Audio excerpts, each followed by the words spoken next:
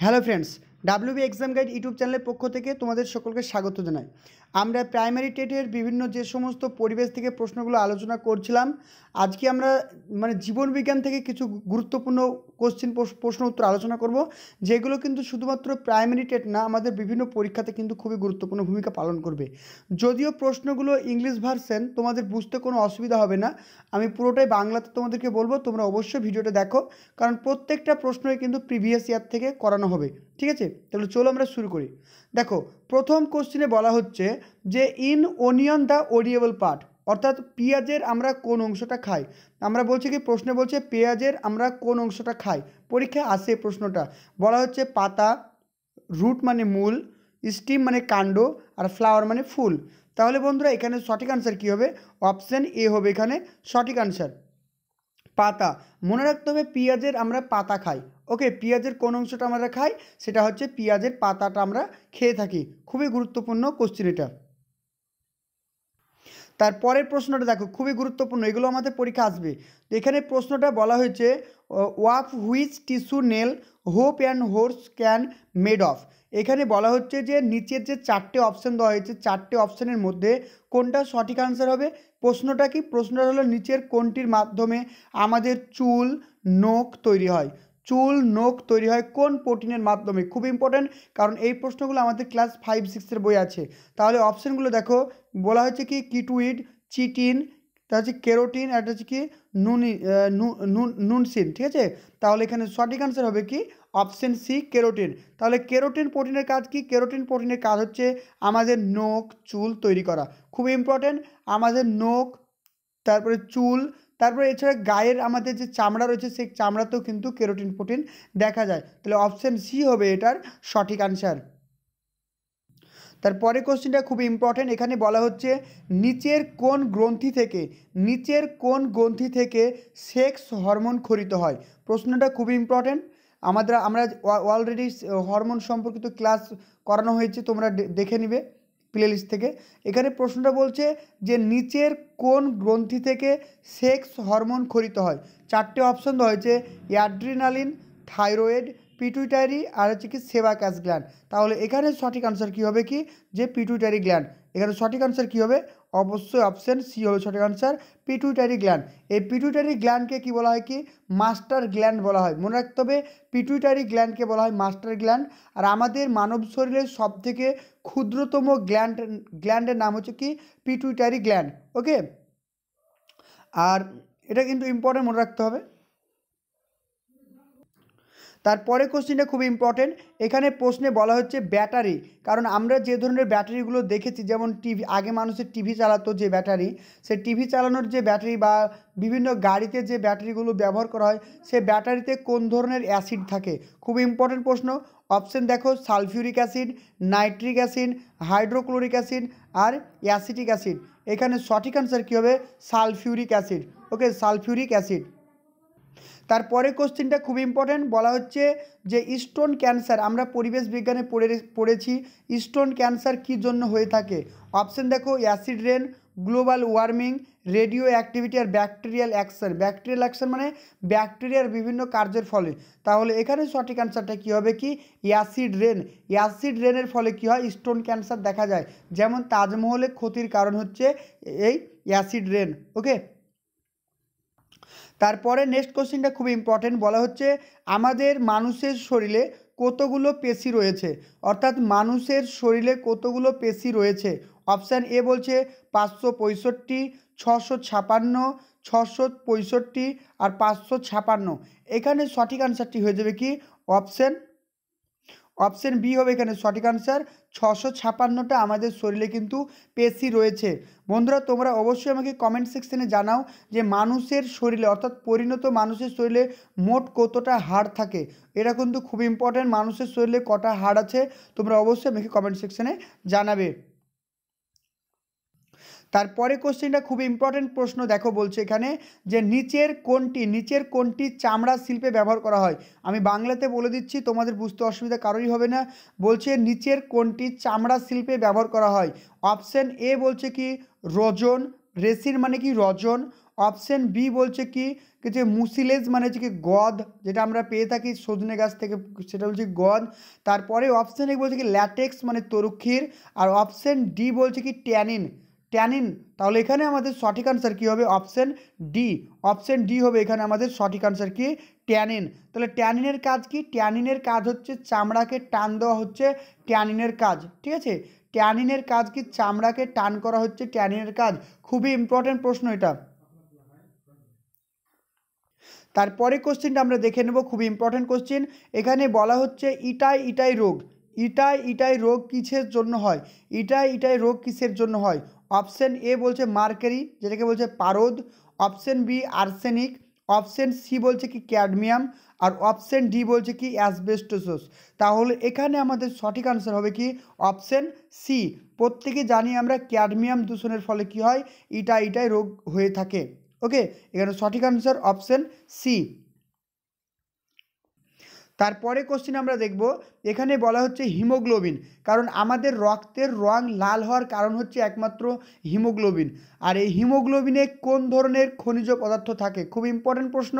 Option A copper option B বলছে কি molybdenum option C বলছে আয়রন আর অপশান ডি হচ্ছে কি ম্যাগনেসিয়াম তাহলে এখানে আমাদের সঠিক আনসারটা হয়ে যাবে কি? এখানে আমাদের সঠিক আনসার হয়ে যাবে কি আয়রন আমরা জানি হিমোগ্লোবিনে আয়রন থাকে। আর এখানে আর একটা জিনিস মনে রাখবে, যখন শালক সংশ্লেষ হয়, সেখানে কি হয়? সেখানে থাকে কি? ম্যাগনেশিয়াম তাহলে শালক সংশ্লেষে কোন ধরনের খনিজ মৌল থাকে? সেটা হচ্ছে কি? ম্যাগনেশিয়াম এখানে দুটো জিনিস মনে রাখতে হবে। একটা হচ্ছে কি? ম্যাগনেশিয়াম শালক সংশ্লেষ, আর রক্তে হিমোগ্লোবিন হচ্ছে কি? আয়রন। ওকে? তারপরে কোশ্চেনটা দেখব, খুবই ইম্পর্টেন্ট প্রশ্ন এটা। এখানে বলা হচ্ছে, মিনামেটা রোগটা হয় কিসের জন্য? মিনামেটা রোগটা হয় কিসের জন্য? অপশানগুলো দেখো। বলছে লেড সায়ানাইড মার্কারি অ্যান্ড হচ্ছে কি মিথাইল আইসো সায়ানাইড তাহলে এখানে আমাদের সঠিক আনসার হবে, আমরা প্রত্যেকে জানি মার্কারি যেটাকে আমরা বলি পারদ। তাহলে পারদ দূষণের ফলে কিন্তু মিনামেটা রোগটা হয়ে থাকে, তাই অপশান সি হবে এটার সঠিক আনসার তারপরে কোশ্চেনটা দেখব। খুব ইম্পর্টেন্ট প্রশ্ন এখানে বলা হচ্ছে যে, মানুষের শরীরে রক্তের যে প্রেসার অর্থাৎ রক্তচাপ নিয়ন্ত্রণ করার জন্য কোনটিকে ব্যবহার করা হয়?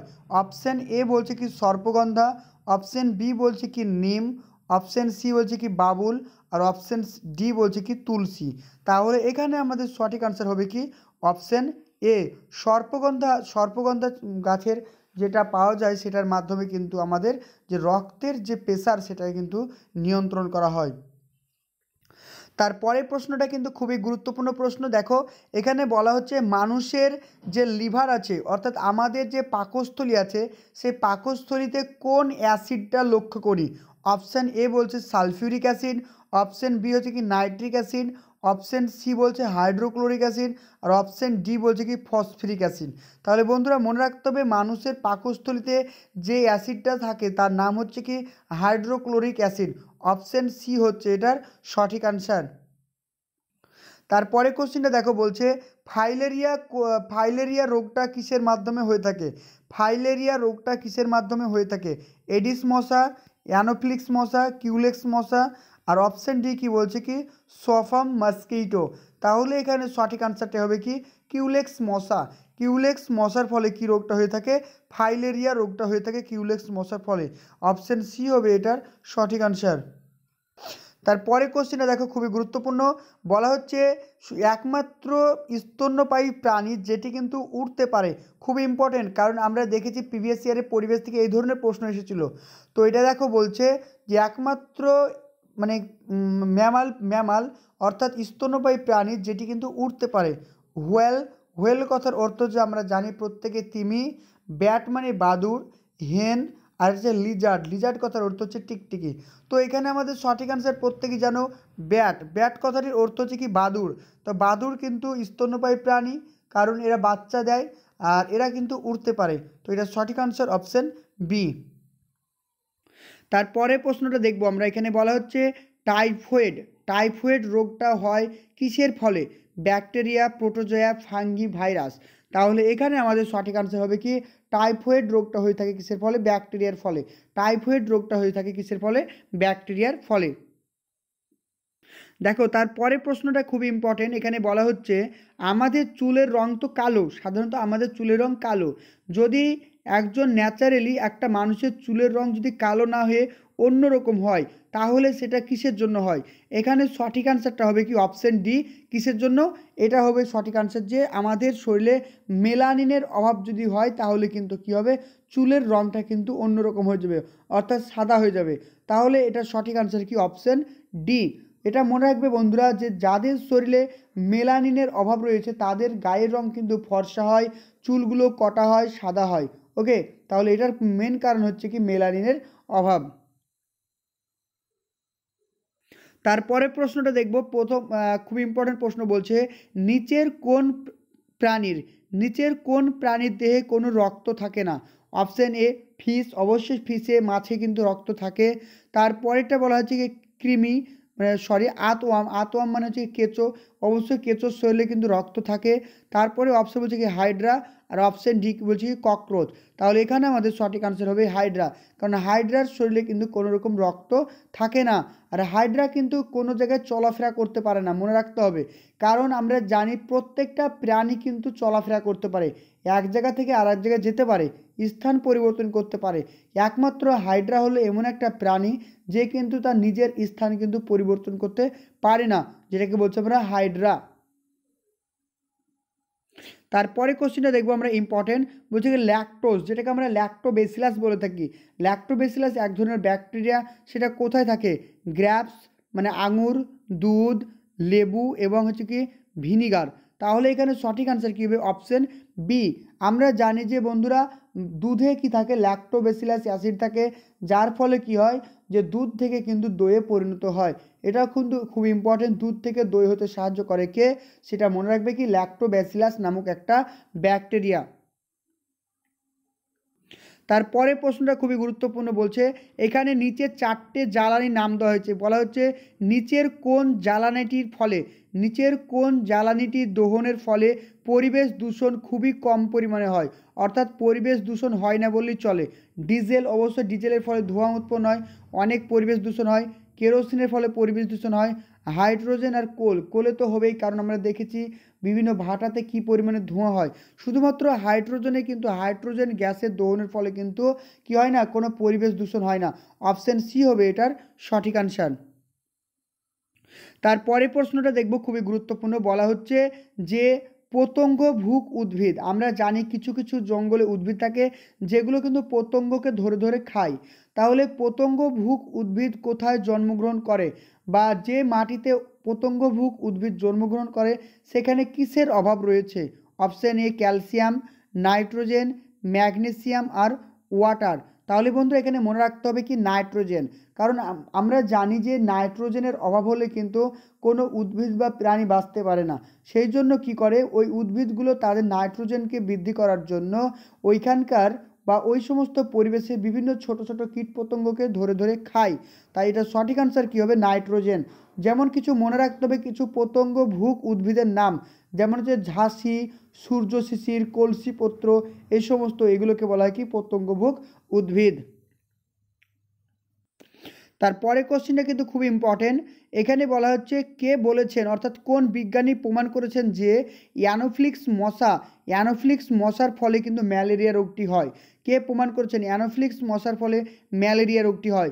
এখানে অপশান ডি হবে, এখানে সঠিক আনসার আমি সরাসরি অপশানটে চলে যাচ্ছি, কারণ এখানে যে নামগুলো বলা হচ্ছে বিদেশি নেম সেই জন্য অপশান সি ডি হবে এখানে সঠিক আনসার রোনাল্ড রস খুবই ইম্পর্টেন্ট কারণ আমরা জানি দু হাজার তেরোতে যখন আমাদের প্রাইমারি টেট পরীক্ষা ছিল, সেখানে কিন্তু এই প্রশ্নটা এসেছিল যে রোনাল্ড রস কিন্তু প্রথম আবিষ্কার করেছিলেন যে ম্যালেরিয়া রোগের কারণ হচ্ছে কি? যে অ্যানোফ্লিক্স মশা অপশান ডি হবে এখানে সঠিক আনসার রোনাল্ড রস। তিনি আবিষ্কার করেছিলেন কোথা থেকে? কলকাতা শহর থেকে। ঠিক আছে? তারপরের প্রশ্নটা খুব ইম্পর্টেন্ট দেখো, এখানে বলছে, আমরা জানি যে স্ট্যাটোস্ফিয়ারে কী থাকে? ওজন স্তর থাকে। সেই ওজন স্তর কোনটিকে শোষণ করে? অপশন এ বলছে ইনফ্রেড রে আলট্রাভায়োলেট রে এক্স রে আর হচ্ছে গামা রে তাহলে এখানে আমাদের সঠিক আনসার কী হবে কি? যে ওজন স্তর যেটিকে মানে শোষণ করে নিচ্ছে সেটা হচ্ছে কি আলট্রাভায়োলেট রশ্মি। অপশন এ হবে এখানে কি? অপশন এ হবে এটা সরি অপশন বি হবে এটা সঠিক আনসার কি? আলট্রাভায়োলেট রশ্মি। তার পরের প্রশ্নটা আমরা খুবই ইম্পর্টেন্ট আমরা লক্ষ্য করি বিভিন্ন পরীক্ষায়, দেখো। বলা হচ্ছে বিসিজি ভ্যাকসিন দেওয়া হয় কোন বয়সে শিশুদের? বিসিজি ভ্যাকসিন দেওয়া হয় দুই থেকে তিন বছর, দশ বছর, আর অপশান সি বলছে কি নিউব্রন মানে সদ্যজাত জন্ম, আর অপশান ডি বলছে উইদিন পনেরো দিন। তাহলে এখানে আমাদের সঠিক আনসার হবে কি? অপশান ডি পনেরো দিনের মধ্যে কিন্তু বিসিজি ভ্যাকসিনটাকে দেওয়া হয়। এটা সঠিক আনসার অপশান ডি আর বিসিজি ভ্যাকসিন দেওয়া হয় কিসের জন্য? আমরা জানি যক্ষা রোগের টিকা হিসাবে বিসিজি ভ্যাকসিনকে কিন্তু দেওয়া হয়ে থাকে। অপশান ডি হবে এটার সঠিক আনসার পনেরো দিন। তারপরে কোশ্চেনটা খুব ইম্পর্টেন্ট বলা হচ্ছে। দেখো, আন্তর্জাতিক বায়োডাইভার্সিটি দিবস মানে সাল কোন পালন করা হয়? আন্তর্জাতিক বায়ো মানে আন্তর্জাতিক বায়োডাইভার্সিটি মানে বর্ষ কোন সালকে বলা হয়? এখানে অপশান দেখো, ছিয়ানব্বই, নিরানব্বই দু ছয় আর দু দশ। এখানে আমাদের সঠিক আনসার হবে অপশান ডি হচ্ছে দু দশ। খুবই ইম্পর্টেন্ট কোশ্চেন এটা। আন্তর্জাতিক বায়োডাইভার্সিটি বর্ষ বলা হয় দু হাজার দশকে তারপরে কোশ্চেনটা আমরা দেখব, খুব ইম্পর্টেন্ট কোশ্চেন বলা হচ্ছে প্লেগ রোগটি কিসের মাধ্যমে হয়ে থাকে? প্লেগ রোগটি হয়ে থাকে ব্যাকটেরিয়া, প্রোটোজোয়া, ভাইরাস আর ওপরের সব কয়টি। তাহলে এখানে সঠিক আনসার কী হবে আমাদের? অপশান এ হবে এখানে সঠিক আনসার যে প্লেগ রোগটা সাধারণত হয়ে থাকে ব্যাকটেরিয়ার ফলে। আর বন্ধুরা, এখানে একটু মনে রাখার চেষ্টা করব যে প্লেগ রোগের যে ব্যাকটেরিয়া, সেটার নাম কি?